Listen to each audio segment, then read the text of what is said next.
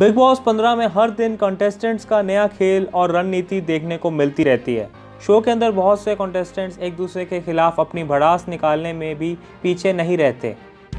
इसी बीच एक टास्क करते हुए तेजस्वी प्रकाश की तबीयत बिगड़ गई, जिसके बाद अभिनेत्री को मेडिकल मदद लेनी पड़ी। करण कुंद्रा उन्हें कंधे पर उठाकर मेडिकल मदद के लिए लेकर गए। दरअसल बिग बॉस 15 के घर में हाल ही में कैप्टनसी टास्क हुआ। इस टास्क में सभी घर वाले जी जान लगाते हुए नज़र आए। कैप्टनसी टास्क में घर वाले एक दूसरे को टक्कर देने की कोशिश में लगे थे। टास्क के दौरान मस्ती के बीच तेजस्वी के मुँह पर पाउडर फेंका गया। पाउडर फेंके जाने के बाद तेजस्वी को लगातार खांसी होने लगती है। इसके बाद धीरे धीरे उनकी तबीयत और बिगड़ती रहती है और गंभीर हो जाती है। वह बिना रुके खांसी करती रहती हैं। इसके बाद सभी घर वाले तेजस्वी के लिए मेडिकल मदद बुलाते हैं और करण उसे उठाकर डॉक्टर से कुछ मदद लेने के लिए ले जाते हैं।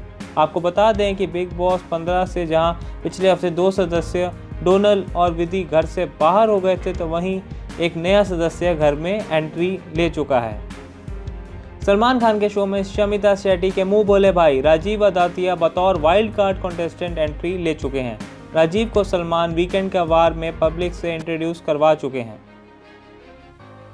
राजीव ने घर में आते ही ईशान से उनकी और मायशा की लव स्टोरी के बारे में बात की।